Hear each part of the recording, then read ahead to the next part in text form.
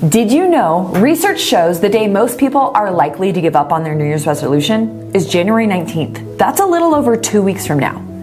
If you made a New Year's resolution or set new goals, my question to you is this At what point will you quit? Most times we only think about why we should start, but we fail to consider why we might stop. There's a reason why most people give up their goals by January 19th. Maybe they had a bad day, they didn't feel like it, encountered adversity, and decided to fall back on what's easy and give up. But if you really want to stick with the goal you set for yourself, I invite you to build your response to difficult situations before they happen, prepping your mind to battle them if and when they occur. So, my next question is this When adversity strikes, and it will, what do you need to tell yourself? What is that mantra, phrase, or reminder that you need to hear? Because setting a New Year's resolution is good, but choosing to stick with it when times get tough is what will make you great.